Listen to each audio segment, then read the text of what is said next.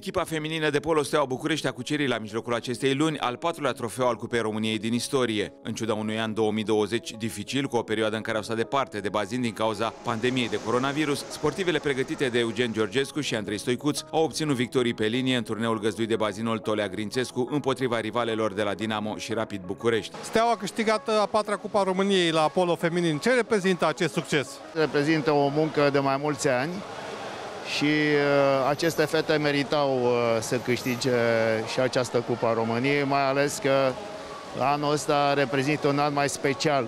Ce a fost mai greu pentru dumneavoastră ca și antrenor în acest an? Să pregătiți echipa, să o antrenați sau să câștigați Cupa României? Am făcut tot ce s-a putut, uh, atât din punctul nostru de vedere al antrenorilor. Am solicitat fetele la maximum ca să ne îndeplinim acest obiectiv. În cele patru meciuri din cadrul Cupei României ediția 2020, sportivele de la Steaua au marcat 59 de goluri, având o medie de aproape 15 reușite pe meci. E un lucru destul de bun că am marcat multe goluri și pe viitor sper să marcăm și mai multe și să primim mult mai puține. Echipa a jucat foarte bine, a fost uh, uh, agresivă atât în apărare cât și în atac. Puteam să marcăm mult mai multe goluri. Steaua nu vrea să se mulțumească doar cu trofeul Cupei României. Deși a pierdut patru jucătoare față de sezonul trecut, echipa tehnică tehnică a împrospătat lotul cu șase junioare, iar antrenorul Eugen Georgescu este decis să păstreze în Ghencea și titlul, iar Steaua să realizeze din nou dubla Cupă Campionat. Urmează întrecerea din uh, campionatul național. Ce obiectiv uh, aveți? Locul întâi. Să câștigăm campionatul. Locul 1.